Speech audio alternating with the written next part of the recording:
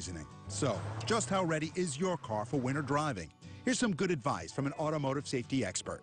It's important to be mentally prepared if something happens because when accidents happen or things break down, obviously it's not planned. We want you to be prepared. So here's some things you should absolutely have with you without question.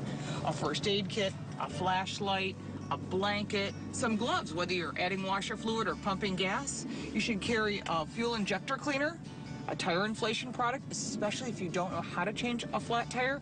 I love these instead of the old striking flares. Those actually pollute the water. And the only place they're still legal is here in the U.S. So what I like is these magnetic flares.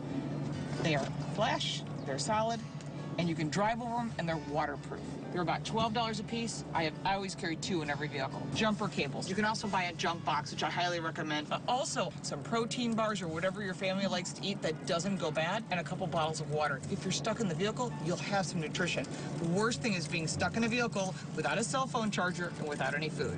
One of my favorite rules is ABC, always be charging. Uh, another thing, washer fluid. I carry extra washer fluid with me around because you never know if it's sloppy outside. And if you're stuck in the winter and you're spinning your wheels and it's on ice because we do get icy days, kitty litter, believe it or not, is a great solution. You put that underneath your tires and you will get traction. It'll also help melt some of the ice underneath your tires. The things amplify when it's cold. Brake problems, steering problems, tire problems. And so you really want to make sure that you take care of your vehicle and be car care aware. During the winter, tires do lose tire pressure. For every 10 degrees of outside temperature change, you can lose one to two pounds of pressure.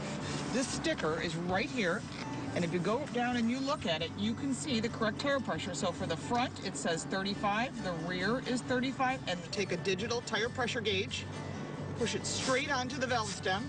This says 30. It's five pounds low. This will impact traction, braking, and snow handling. And it could save your life, and it could save you from being on the side of the road. So staying safe behind the wheel often has a lot to do with being ready for the unexpected. And